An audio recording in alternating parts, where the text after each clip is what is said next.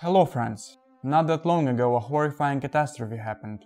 It was the earthquake in Turkey and Syria, which claimed the lives of at least 50,000 people.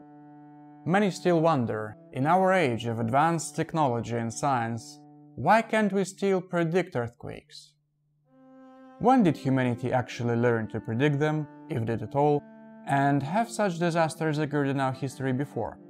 Well, they have of course. One of the most dreadful such disasters was the Great Lisbon earthquake. And it was a catastrophe not only because it claimed between 50,000 to 100,000 lives in Lisbon, according to different estimates, but also because it obliterated a superpower of its time. After the monstrous earthquake of 1755, the Portuguese Empire was decapitated.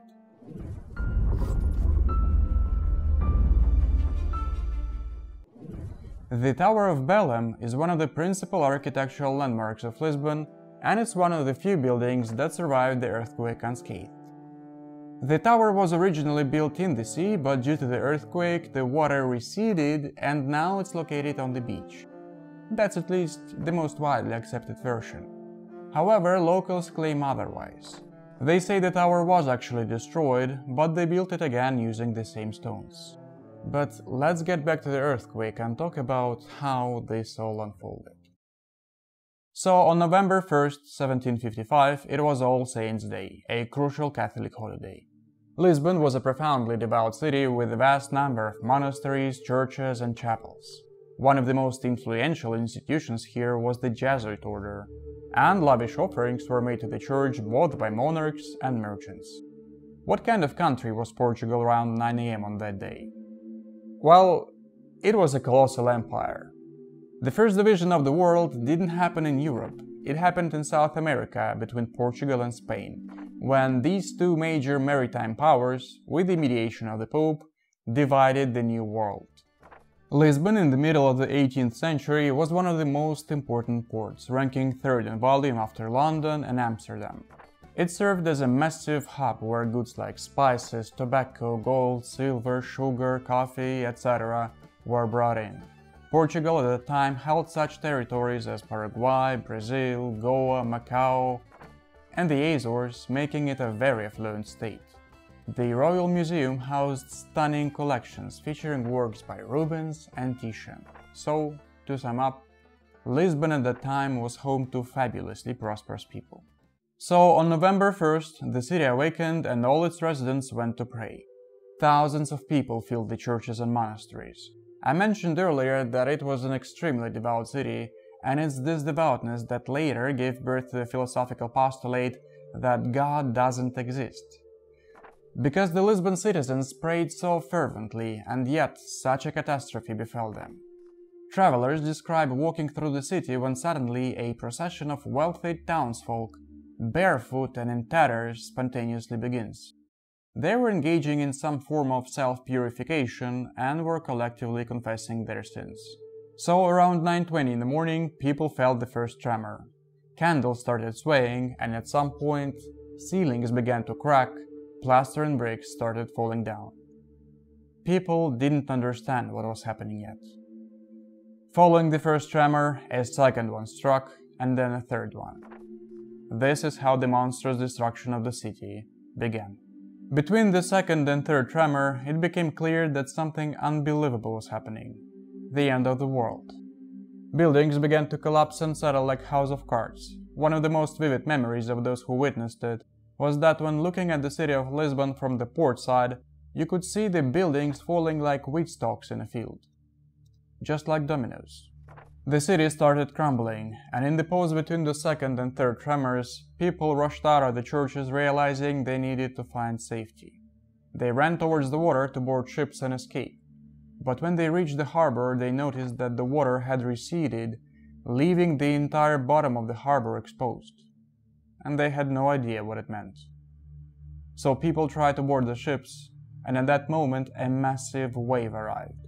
A tsunami 12 to 25 meters in height according to different sources, swept all these unfortunate people away into the ocean. Then the third tremor occurred, and all this happened within up to 20 minutes. The city simply ceased to exist. The survivors tried to flee, everything was buried under rubble and filled with moans and stench. But the most horrifying thing was the darkness. Imagine the extent of the devastation, it even blocked out the sun. Dust from the collapsed buildings rose and obscured the sky. It was indeed the end of the world. Later, it would be discovered that the epicenter of the seismic activity was approximately 320 kilometers out in the ocean. Sailors who were at sea that moment described a wave passing beneath their ships that caused people on deck to fall even though the sea was calm. This immense force is what struck Lisbon, destroying it within several minutes. After the tsunami receded, monstrous fires broke out in Lisbon because everyone in the churches had candles, and of course they all dropped them as they fled in search of safety, igniting the city. The city was in ruins, massive cracks in the ground, a huge tsunami, and then fire. At this point, it's essential to mention that there were obviously no emergency response structures in Western Europe at the time. The world had never experienced anything like that before, and Portugal was entirely unprepared. So no one could possibly have a clear rescue plan.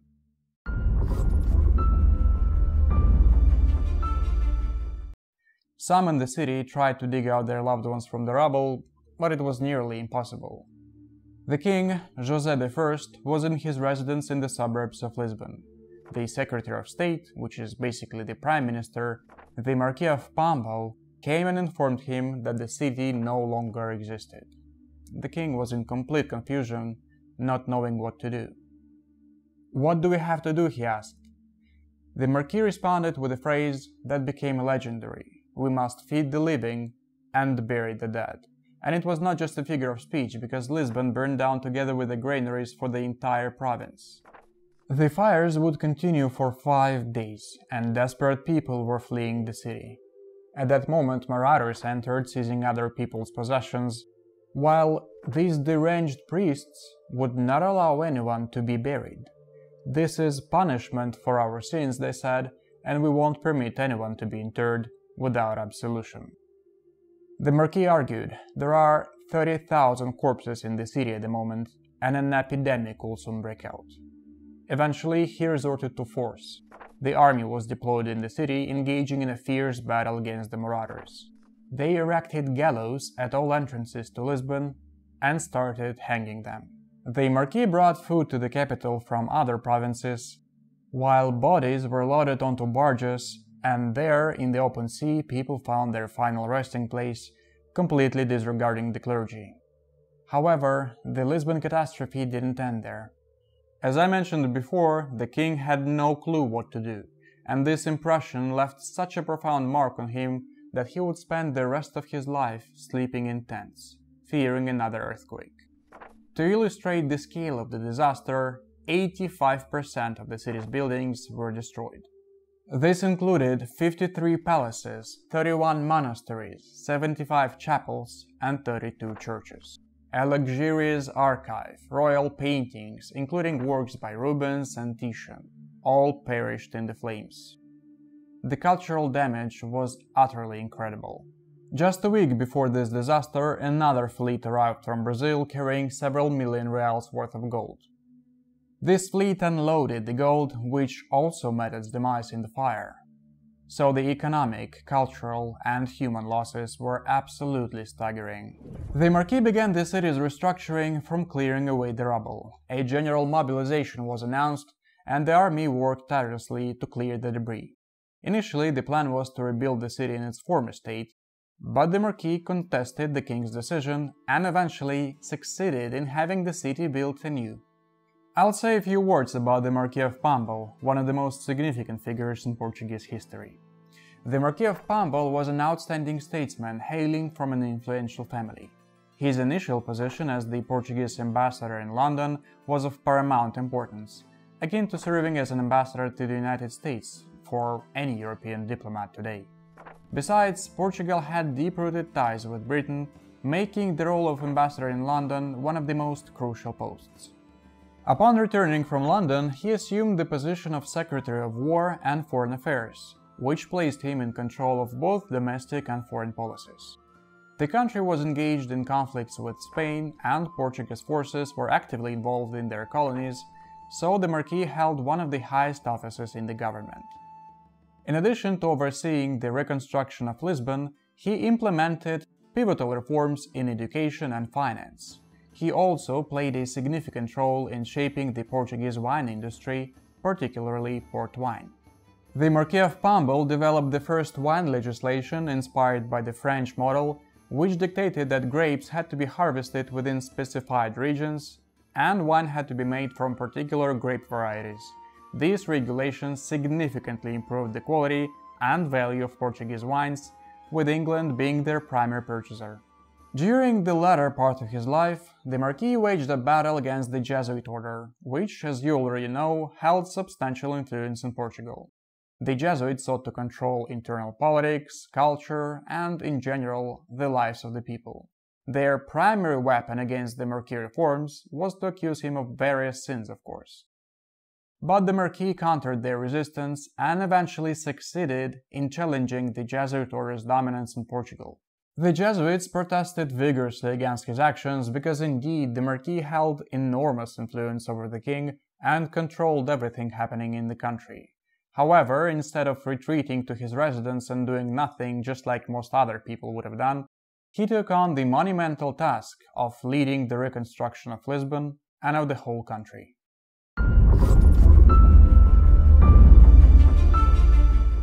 Under his leadership, Lisbon was completely redesigned by military architects. After the city's architectural plan was approved, the Marquis of Pombal oversaw its construction over a span of 15 years all buildings were rigorously assessed for seismic stability. This involved a squad of soldiers marching on the rooftops of newly constructed buildings. If the walls did not shake, the building was deemed sound, otherwise, it was demolished. The Marquis prohibited the haphazard and uncoordinated construction so typical of southern Europe, where shanty structures were built one on top of another. Under his leadership, any illegal construction came to an end. As I mentioned before, he distributed bread to the hungry and fought against marauders. Moreover, the Marquis started developing the principles for the functioning of the new city. When you visit Lisbon, remember that all the city's logistics were devised by the Marquis of Pombal. For its time, it was an exceptional architectural achievement and a brilliant urban planning solution by today's standards. The Marquis of Pombal saved the city.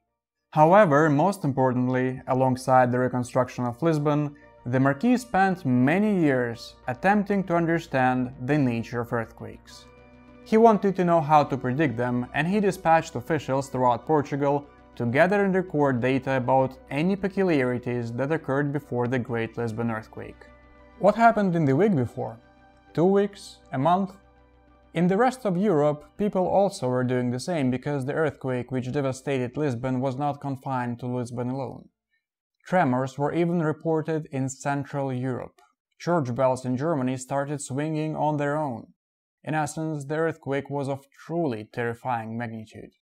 It's hard to tell the exact magnitude now, but these were truly strikes of some entirely phenomenal force, since they spread across Europe like ripples in the water.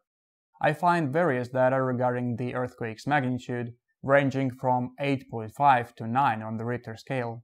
For comparison, the recent earthquake in Turkey measured 7.8, and you could see the impact. So the Marquis began to delve into seismology, and the team working under his leadership understood that not everything had happened suddenly. In the weeks and months leading up to the earthquake, people across the country had recorded strange phenomena. Some wells went dry while others overflowed. Odd tides occurred in Galicia, Spain, and in northern Portugal. Snakes emerged from their burrows and began to ascend the mountains in massive numbers. Within two days, birds migrated and the water changed in taste, developing a strange metallic flavor. In other words, this earthquake had its omens. People, of course, didn't know how to work with them and as it turns out, even today, they don't really have a clear understanding, and no one could predict what would happen. When data started arriving from Europe, they learned that even in Ireland there were noticeable consequences. In one of the ports, there was a whirlpool that nearly sucked two ships into its depths. In essence, all Europe was trembling.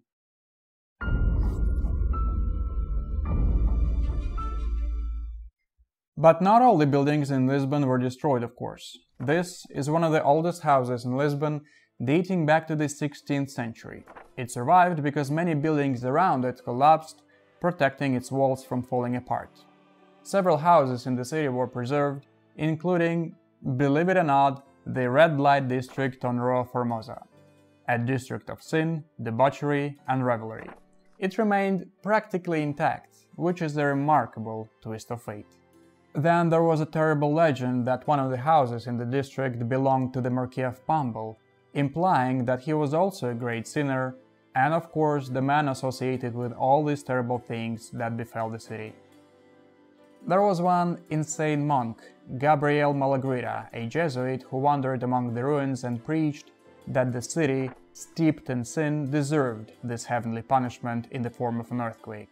In the end, the Marquis burned him at the stake as a heretic and from that point the destruction of the Jesuit order began.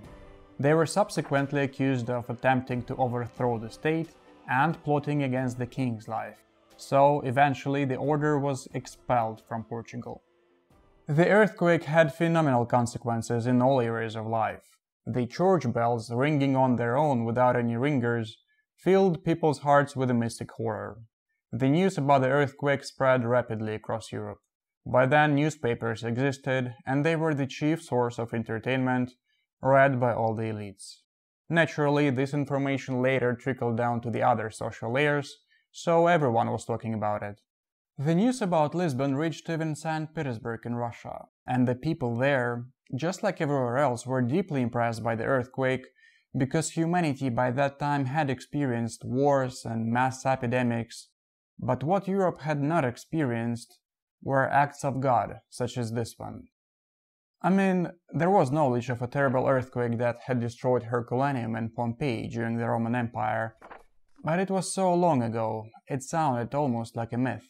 So, on one hand, as I said, there was this mystical fear, anticipation of divine retribution. This belief was deeply rooted at the time, mainly due to the strength of the Catholic Church and the strong belief in God. If people were seen as sinners in the eyes of God, then certainly this earthquake is his punishment. On the other hand, though, society has changed. For example, Voltaire wrote Poem on the Lisbon disaster asking the following God is avenged, the wage of sin is death. What crime, what sin had those young hearts conceived that lie bleeding and torn on mother's breast? Did fall in Lisbon deeper drink of vice than London, Paris, or sunlit Madrid? So Voltaire generally proclaimed, if you translate it from the language of poetry, that Lisbon was probably the most devout city in the world. And do you really believe that they were all sinners there? Or that Lisbon was worse than London or Paris? Of course not. This wave of thought spread among the enlightened thinkers of the time questioning why such punishment came upon innocent people. Subsequently, this evolved into another conflict the Enlightenment philosophers versus the Catholic world. Of course, the Church was not pleased with this because the dogma of the faith was being questioned. Nevertheless, philosophy evolves and transitions from Romanticism to pragmatism. Undoubtedly, these Enlightenment philosophers will later be criticized and even blamed for breaking down society to such an extent with their atheism and the absence of preference for the throne and hierarchy that they played a significant role in the lead up to the French Revolution. And to some extent, this is true, but the degree of horror from the disaster that just had happened next door in Portugal is so high that it profoundly changes the world by itself. This idea that the forces of nature that are beyond human control are not driven by God was later called rationalism. The Marquis of Pombal acts in line with this new philosophy too. All his persecutions against the Jesuit order are also dictated by this new philosophy, which says, You guys are telling us that we were punished by God. Do you remember how many monasteries there were in Lisbon? What gifts were sent to the church, to the Jesuit order? Didn't you pray enough for us? The Marquis will vehemently fight against the order, and eventually the Jesuits will be defeated in Portugal. Although later the daughter of Jose I, Maria I, will expel the Marquis of Pombal himself, bringing back the Jesuits, and reverse their forms. But nonetheless, the secularism of Europe, to a large extent, stems from this earthquake. It must be said that during the Lisbon earthquake, a vast number of elites perished officials, military personnel, administrators, and virtually all layers of the population suffered immense losses, regardless of their social status. Portugal, in addition to the financial and economic crisis, faced a terrible shortage of managerial personnel. In the aftermath, many would argue that there was practically no one left to govern the country. So, my friends, this is what the Lisbon earthquake was like. But why did I mention the end of the Portuguese Empire in the beginning of the video? Well, because Portugal practically vanished from the global political stage after this disaster. Just consider this. Cultural treasures worth 800 million gold francs were destroyed, the country was hit by famine, and of course, all these reforms and the reconstruction of Lisbon had to be financed somehow. This created a huge deficit in the treasury and removed Portugal from the list of global powers forever. In conclusion, I'd like to say a few more words about the Marquis of Pombal. In the twilight of his life, he was sent into exile by the new queen, Maria I, who saw that all power in the country was in his hands. So he was accused of conspiracy and stripped of all titles. Furthermore, they even wanted to sentence him to death for corruption. Such was his fate. Nonetheless, today there are memorials, squares, and streets named after him throughout whole Portugal. In any case, in the country's history, he is remembered alongside this great earthquake. By the way, I'm still starting on YouTube, so any kind of support, like, subscription, comment, is gonna help me a lot. Thank you for your attention and see you soon.